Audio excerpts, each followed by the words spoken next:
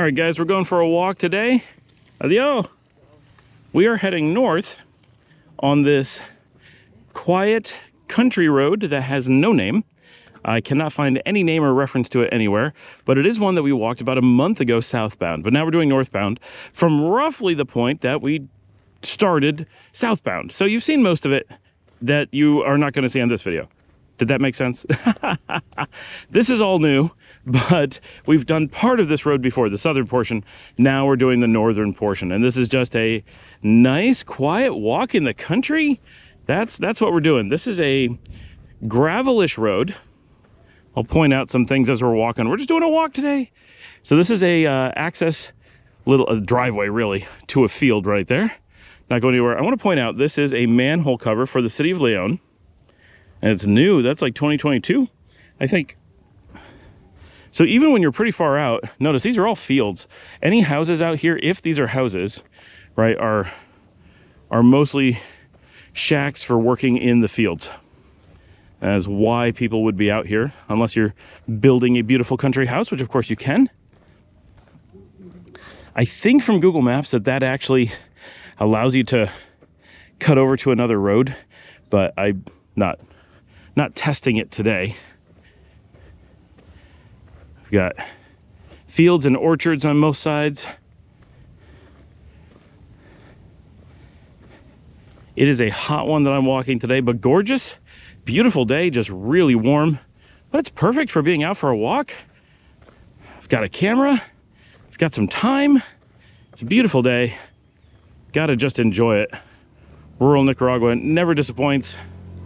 And one of my favorite things is that there is always a pulperia. You never end up far from a place where you can stop, recharge your phone, and get a drink. So that is what we are going to do here. Because I am very warm and looking forward to something refreshing.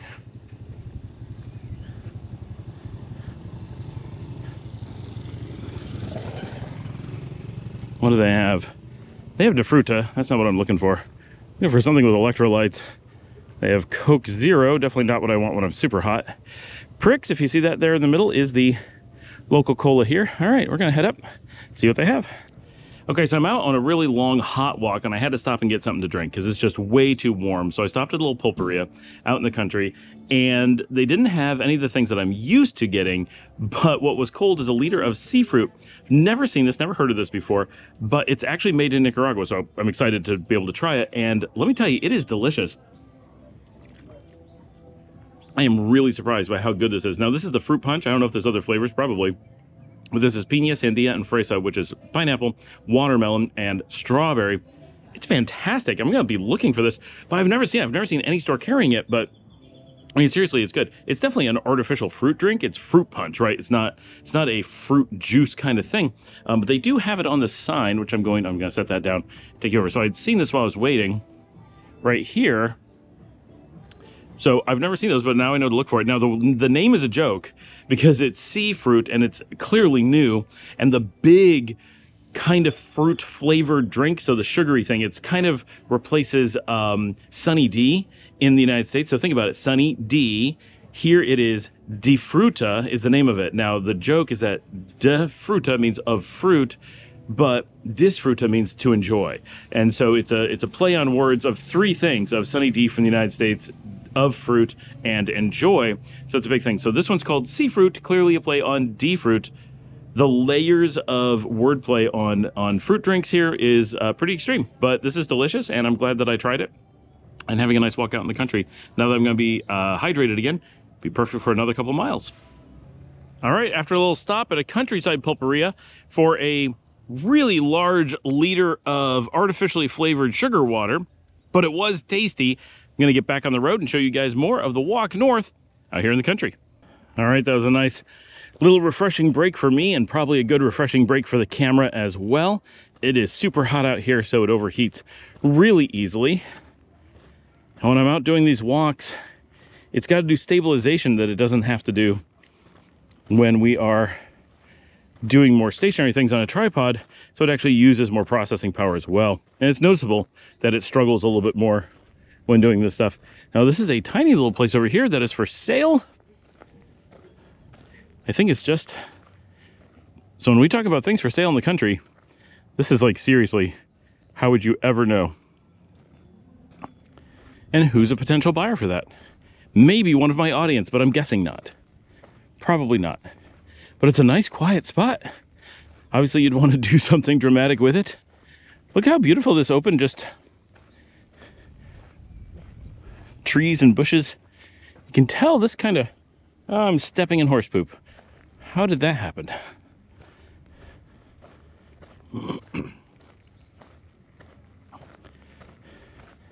nice little house here.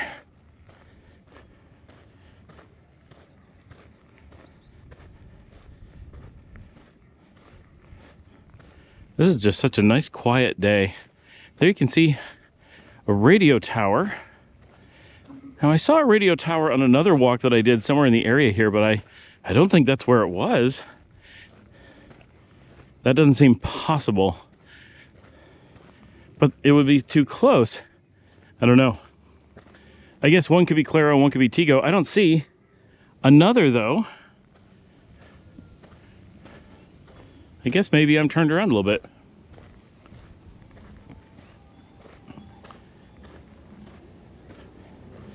I'll try to show some of the houses and stuff. Now that place has no windows or doors. I'm guessing that's some kind of barn or bodega. There's a house behind. You can see they have a little trail here that goes up. That was a lizard running across it. So I'm guessing that's like a storehouse or something in the front, not a not a house for humans. We got a little house here, some music going on. The road's a bit lower here, so everybody's got steps going up. There's a number of people out back hanging out. This house needs some work, but they're working on it, you can see. Then over here, we got cows, I think. I see in the back there, yeah. That is a cow in that pasture. Little tiny chickens in the bush there.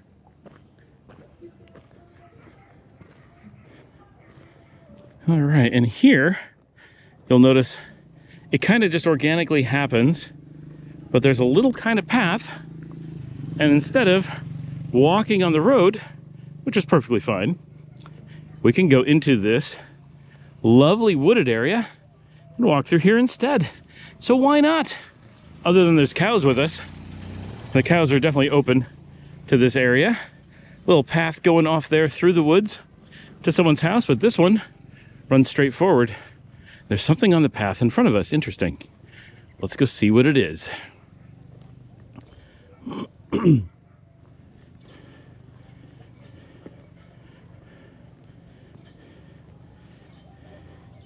it's interesting that there is a fence here blocking us from what? we can walk to and from the road quite transparently. No idea what that fence is for because there's no fence here.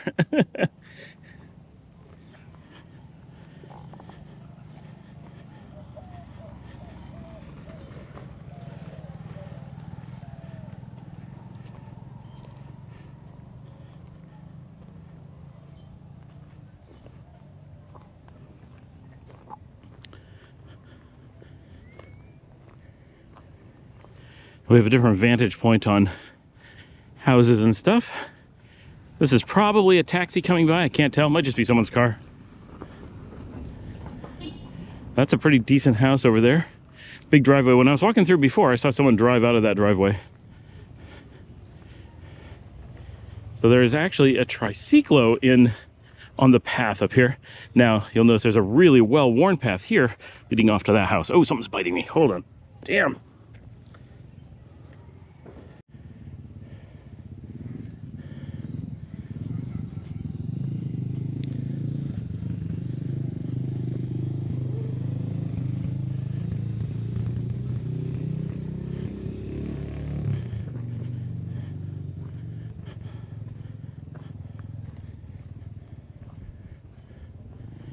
See, it's a lightly wooded area. Could easily be an orchard, some kind of pasture. And a tricycle just waiting for someone to need a ride.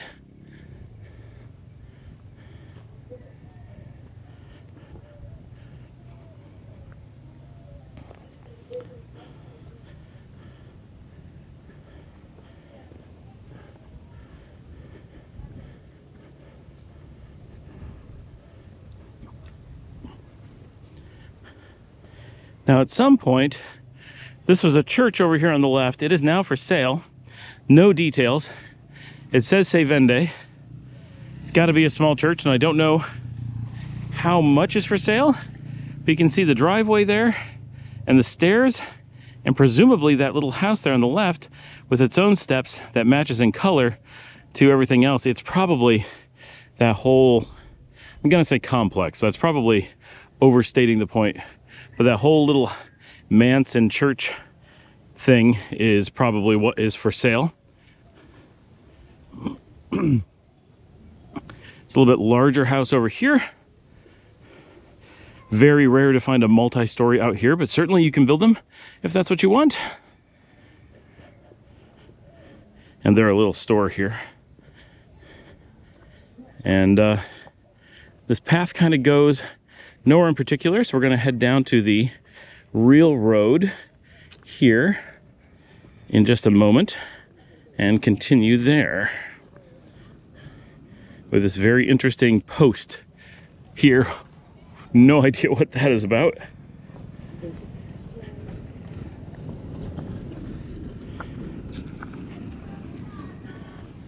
And here we are at the top of the road. So this is where it actually comes to an end. And what you're seeing in front of you is actually the airport.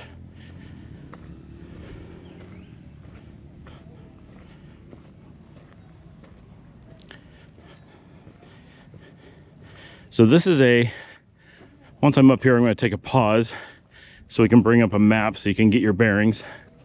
But this is an odd unnamed road.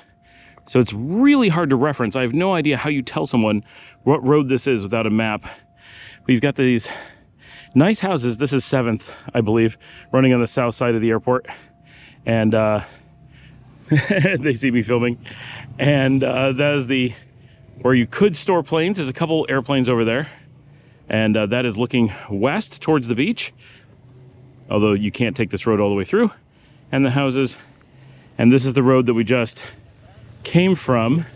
And that appears to be the triciclo that we saw on the path. So they got passengers already. That was a good place to be waiting.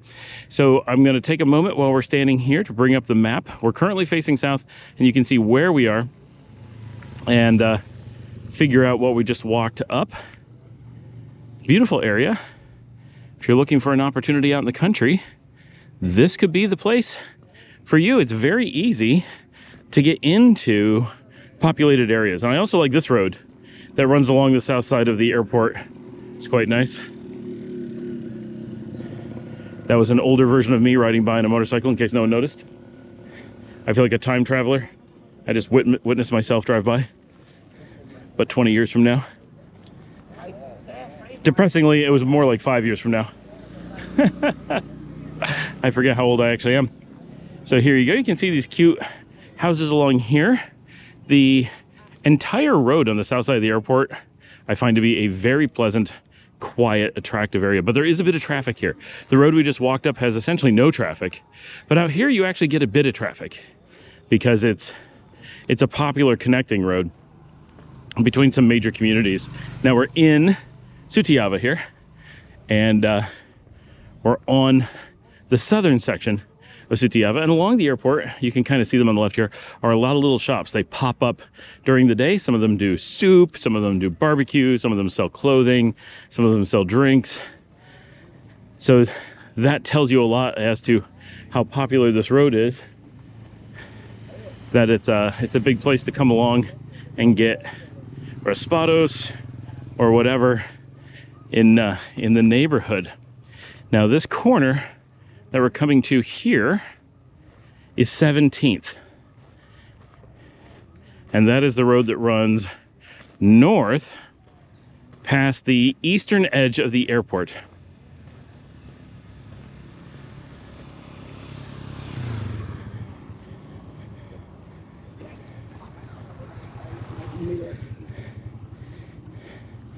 And as we continue east on this road, get a lot of people just out for a ride. It is a quiet day. Nice day for just, hola. So actually 17th, so if you're looking at Google Maps, 17th, which goes up there and comes this way, they show there being a road there that you can keep going on. So if you're looking at a map from Google Maps, you'll be like really confused because there's nothing there. Now, as we head into kind of Barrio Sutiava proper, you see that we suddenly go to nice pavers. We suddenly go to much denser housing. Everything changes pretty quickly.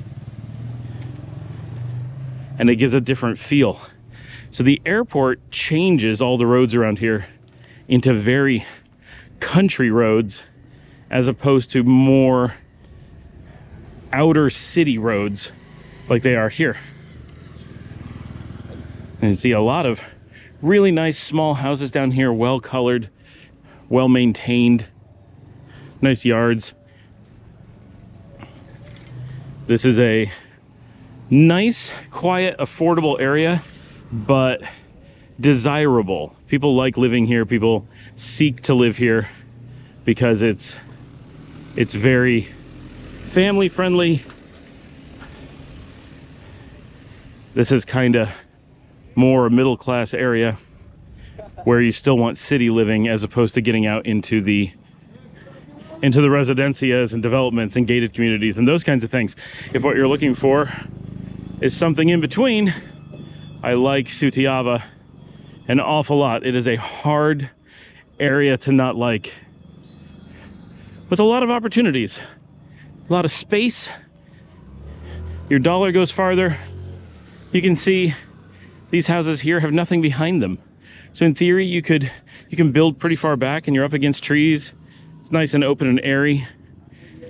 If you have dogs or kids, it's nice to be able to be outside, run around, not have to worry about being in the dense city but it's easy to walk into the city from here easy to do city things easy to get deliveries and taxis and things like that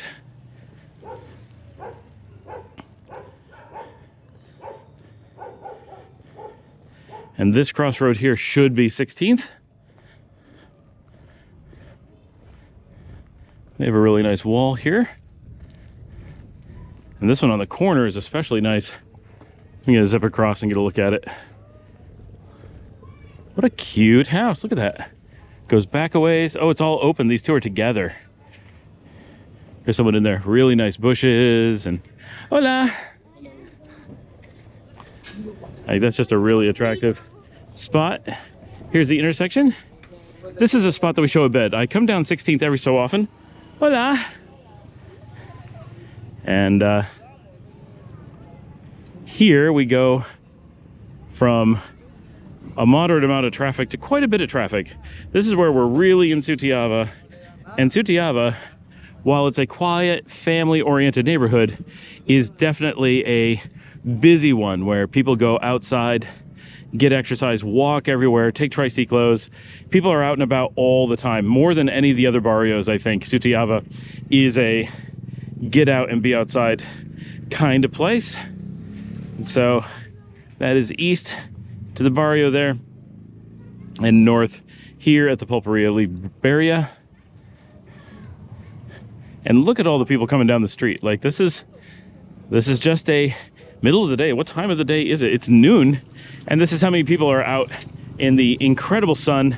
Very, very warm and people are just out for a walk. So thanks for joining me. Like and subscribe if you'd like to support the channel. You can buy me a coffee at buymeacoffee.com slash Scott Alan Miller. Really appreciate everyone who helps support the channel, helps make this possible. It takes quite a bit of work to come out and do all the recording, all the filming, get all the places, edit and upload. So I really appreciate everyone who helps out with that. Thank you very much. As always, share on social media, tell your friends about the show, and I will see all of you tomorrow. And if you wouldn't mind one of these four videos that pops up on the screen, any one of them, if you go and watch that too, that helps make the show that much more possible because it tells YouTube that you really appreciate it. Thanks.